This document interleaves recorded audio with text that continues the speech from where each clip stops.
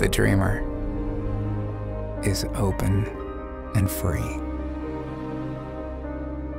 Imagining, searching for what can be. A building made of steel rises from a dream. A cinematic interpretation of life, living so high in the sky that you're the first to see tomorrow, the last to see yesterday. The dreamer is poetic. The sky, an ever changing work of art. An infinity pool, serene against the city. Sunlight from every angle, clean and pure.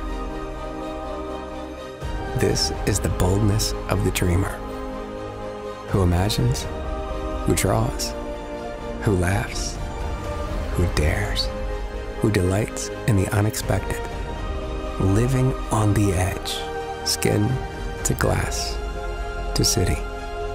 They stitch together romance and reality.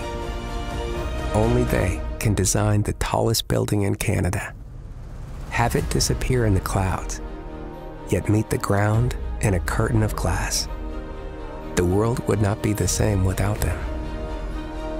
They contemplate the endless possibilities until they find